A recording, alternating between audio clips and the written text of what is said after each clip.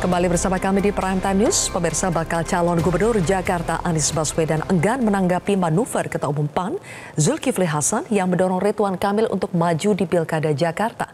Anies tidak ambil pusing soal siapa lawannya dan memilih untuk memikirkan masa depan warga Jakarta. Ditemui usai melaksanakan sholat Idul Adha di Lebak Bulus, Jakarta Selatan, bakal calon gubernur Jakarta Anies Baswedan menghormati proses politik yang nantinya bakal menentukan siapa kompetitornya di Pilkada Jakarta. Anies menganggap kandidasi pada ranah partai politik merupakan proses politik yang normal, sementara nasib warga Jakarta jauh lebih penting untuk dipikirkan. Gubernur DKI Jakarta periode 2017-2022 itu memilih untuk memikirkan nasib warga Jakarta, khususnya bagi yang tidak terakomodasi dalam program prioritas pembangunan.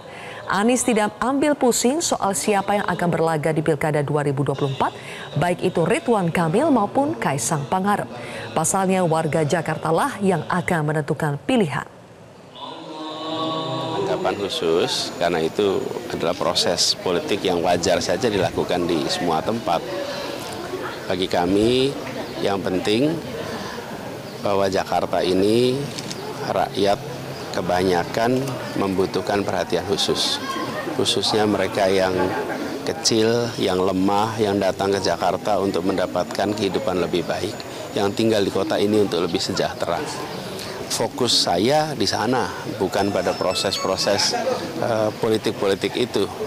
Saya lebih merasa penting untuk memikirkan nasib seperti warga kampung Bayam, nasib warga kampung-kampung padat, yang akhir-akhir ini mereka tidak dijadikan prioritas utama. Padahal kota ini adalah kota untuk semua, bukan hanya kota untuk yang sudah makmur, tapi kota untuk mereka-mereka yang ingin makmur. Pak Anies, izin Pak, tapi kan istana dipakai buat uh, bicara politik elektoral tuh Pak. Ya, biarlah nanti masyarakat aja yang menilai.